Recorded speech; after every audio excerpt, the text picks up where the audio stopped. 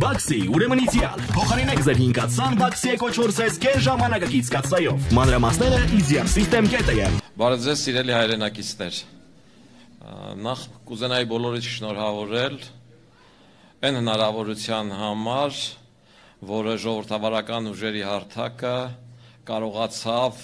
իրականացնել այս սերբ ժամանական ընթացքում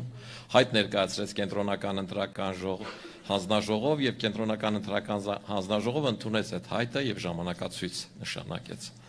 Սա ես համարում եմ ձեռքբերում։ Համարում եմ ձեռքբերում նախ նրա համար, որ քաղաքական ուժերը միավորվեցին, համարում եմ ձեռքբերում նաև նրա համար, որ այս գործընթացին միացան բազմաթիվ հասարակական կազմակերպություններ եւ անհատ քաղաքացիներ։ Շատ ճիշտ նշեց պարոն Խուրշուդյանը, որ արդեն 2 տարի է ժողովրդավարական ուժերի հարթակը բազմաթիվ հանդիպումներ է կազմակերպում։ Եվ այդ հանդիպումների հիմնական հուզող հարցը մեկն է, ինչը հուզում է մեր հանդրությանը, մեր ժողովրդին։ Բոլորին մեկ հարց է հուզում. արդյոք տեղի կունենա նոր պատերազմ, թե ոչ։ Եվ քաղաքական դաշտը այս առումով բաժանվել է երկու մասի։ Քաղաքական դաշտի մի թևը փորձում է հիմնավորել, որ նոր պատերազմից խուսափելու միակ տարբերակը գործող իշխանությանը փոխելն է, Ռուսաստանի հետ հարաբերությունները լավացնելը եւ այդ համատեքստում խաղաղության հասնելը։ Մենք այս տարբերակը ոչ միայն համարում ենք ռիսկային, այլև համարում ենք չգործող եւ անթույլատրելի։ Ինչու՞։ Որովհետեւ անհնարին է նույն քայլերն անել, անելով բացարձակ այլ արդյունք ակնկալել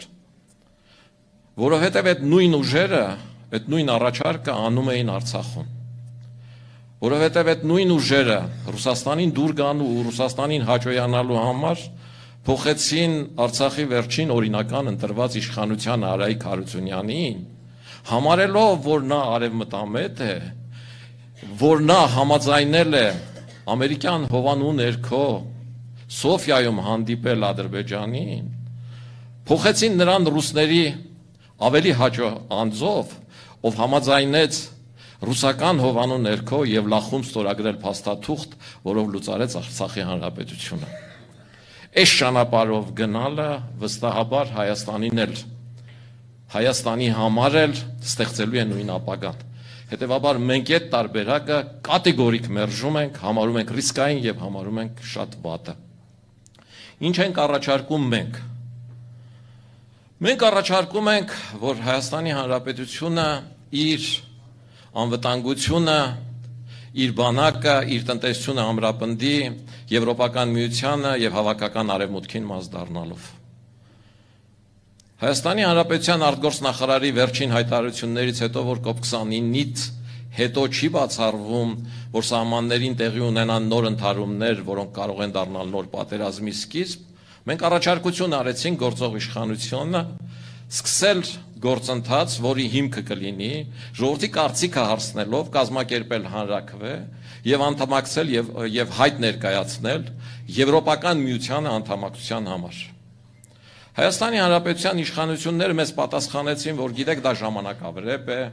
որ գիտեք հանրակրվե նշված է նաև օրենքում եւ դա պարտադիր գործընթաց է եւ երբ որ մենք կվերականգնենք ասոցացման համաձայնագիրը կսկսենք այդ ուղությամբ քայլեր անել երբ որ մեր տնտեսությունը սեպայի շրջանակներում կզարգանա եւ միջազգային շուկաներ դուրս կգա այդ ժամանակ էլ հանրակրվե կանենք ու դրանից հետեւող բազմաթիվ այլ այլ այլ մոտեցումներ ներկայացրեց մենք ասացինք լավ հարգելի իշխանություն Սրան ասում ես, որ ժամանակը չի, ժամանակավրեպը չի, ժամանակավրեպը է դեպքում մենք հանդես ենք գալիս նոր նախաձեռնությամբ, բերում ենք օրենքի նախագիծ Հայաստանի Հանրապետության ազգային ժողով, որով ասում ենք ձեզ, որ ձեր խմբակցության մեծամասնությամբ քվեարկեք, որ դուք կողմ եք Եվրոպական միության անդամակցության գործընթաց նախաձեռնելու առումով Եթե դուք ել ես նախաձեռնությանը ասեք ոչ, դա կնշանակի, որ դուք ոչ թե ժամանակավրեպ եք համարում Եվրոպական միության անդամակցությանը, այլ դուք դեմ եք Եվրոպական միության մաս դառնալուն։ Հիմա քաղաքացիական պայմանագրում աշխատող ու գործող իմ բազմաթիվ ընկերներ կասեն, լավ էլի արամ, դու չգիտես, որ մենք կողմ ենք։ Հանուն անկեղծության ասեմ, որ գիտեմ, գիտեմ, որ շատ շատերը կողմ եք։ Գիտեմ, որ կիսում եք այս մոտեցումներ, ինչը ասվում է, որ բազմաթիվ անգամ անգամներ միասին խոսել ենք այս թեմաները, որ այդ ուղղությամբ նաև որոշակի քայլեր եք արել, բայց կողմ լինելը բավարար չի, հարգելի իշխանություն։ Ժամանակն է, որ դրան իրավական բովանդակություն տրվի։ Ժամանակն է, որ իրավական առումով ժողովրդական լեզվով ասած դե յուրը այդ հաստատվի Հայաստանի Հանրապետության ազգային ժողովում, որը կասի, որ Հայաստանի Հանրապետությունը իր ուղղվածությունը վերցնում է դեպի Եվրոպական միություն։ Եվ եթե դուք սրան ասեք այո,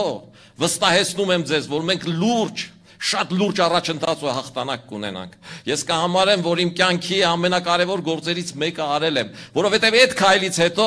տեղի են ունենալու բազմաթիվ գործընթացներ, ովքեր հասկանում են, շատ լավ հասկանում են,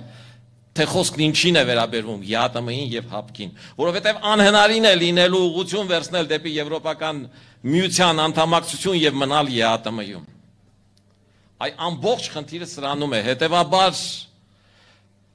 Սիրելի Հայաստանի Հանրապետության քաղաքացի։ Ամսի 16-ից սկսած որ արդեն տարբեր համայնքապետարաններում, գյուղապետարաններում կսկսեն բացվել այդ շտաբները, վերցնում ես քո անձնագիրը, եթե կիսում ես մեր տեսակետները, Եթե այդ տեսակետները բացատրել ես ընտանիքի անդամներին ու նրանք էլ կիսում են այդ տեսակետները, ընտանիքի անդամների հետ գնում ես համայնքապետարան ու գյուղապետարան ու քո ստորագրությունը դնում ես Հայաստանի Հանրապետության Եվրոմիության անդամակցության կողմնակից լինելու օկտին, որովհետև դու ես որոշելու ես երկրու ապագան։ Դու ասել ես զուտ հարազատությունից ելնելով է ոչ թե հարգանքի կամ քաղաքավարության պակասի, որովհետև դու ես որոշելու քո ստորագրությամբ COP29-ից հետո տեղի կունենա պատերազմ թե ոչ որովհետև դու ես որոշելու Հայաստանի Հանրապետության բանակը պրոֆեսիոնալ բանակ է լինելու վերազինված նոր սպառազինությամբ թե ոչ որովհետև դու ես որոշելու Հայաստանի Հանրապետության տնտեսությունը պիտի զարգանա ու քուզովակները պիտի աշխատեն Հայաստանում թե թորներ տել են ստիպված լինելու աշխատուժ դառնալու օտարապերում ընդ որում էժան աշխատուժ որովհետև դու ես որոշելու քո երկրի ներսում արդարադատություն լինելու է թե ոչ որովհետև դու ես որոշելու քո ժողովրդի առաջ բացվելու են դռները ամբողջ աշխարհի առողջապահության թե ոչ որովհետև դու ես որոշելու որ քո երկրի համալսարանը դառնա աշխարհի լավագույն համասարյան համասարանների գոնե 100-յակի մեջ քո այդ ստորագրությամբ սիրելի Հայաստանի Հանրապետության քաղաքացի դու դնելու ես Հայաստանի ապագայի հիմնակարը փոքրիկ, բայց շատ կարևոր հիմնակարը։ Ես վստահ եմ, ես վստահ եմ, որ նման որոշում կայացնելուց հետո 10-15 տարի հետո դուք ձեր զավակները, ձեր թորները տեսնելու եք այդ ստորագրության արդյունքները։ Հետևաբար թող Աստված օգնի մեր նախաձեռնությունը եւ թող այն հաջողություն, բարեկեցություն ու բարիք բերի մեր երկրին։ Աստված օգնի Հայաստանը։